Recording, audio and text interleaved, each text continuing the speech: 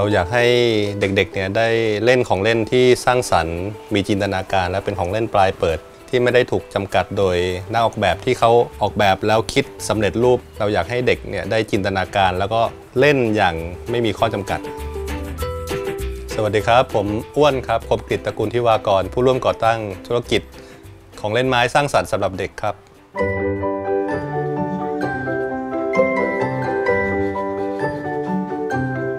จุดเริ่มต้นจริง ๆ ก็มาจากลูกของเราเองครับเราเห็นว่าการเล่นของเด็กๆเนี่ยมันสำคัญมาก แล้วก็การที่เราได้ทำของเล่นให้ลูกเอง มันวิเศษมาก เราอยากให้ความรู้สึกเนี้ยมันส่งต่อไปถึงครอบครัวอื่นๆ แล้วก็อีกคอนเซปต์หนึ่งของเราก็คือเรื่องการให้ถ้าเราส่งมอบของที่เป็นธรรมชาติ มีคอนเทนต์ที่ดี ได้คิดสร้างสารรค์ได้จินตนาการเนี่ยผมว่ามันเป็นสิ่งที่ดีสำหรับเด็กๆครับ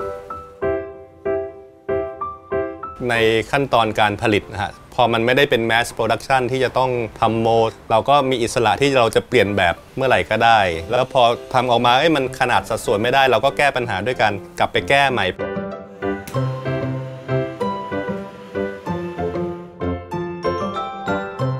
ช่วงแรกของกิจการเราเนี่ยเราก็ออกแบบผลิตภัณฑ์ที่มีช่องว่างแห่งการให้ เช่น นาฬิกาและที่กั้นหนังสือเนี่ยครับช่องว่างที่เราได้ออกมาเนี่ยมีจิตอาสามาช่วยเราขัดระบายสี ร่วมกันทำของเล่นเนี่ยไปมอบให้เด็ก ๆ ที่ห่างไกลครับของเล่นแนวคิดที่ 2 ก็คือชื่อว่า slow play คือการเล่นแบบช้าๆ เนื่องจากว่าเราเห็นว่าเด็กเมืองเนี่ยอยู่ในเทคโนโลยีที่เร็วเกินไป เราอยากให้เขาได้เล่นของเล่นที่เปิดให้เขาคิดแล้วก็แก้ปัญหาทำอะไรก็ได้ด้วยตัวเองครับ เช่น สัตว์กิ่งไม้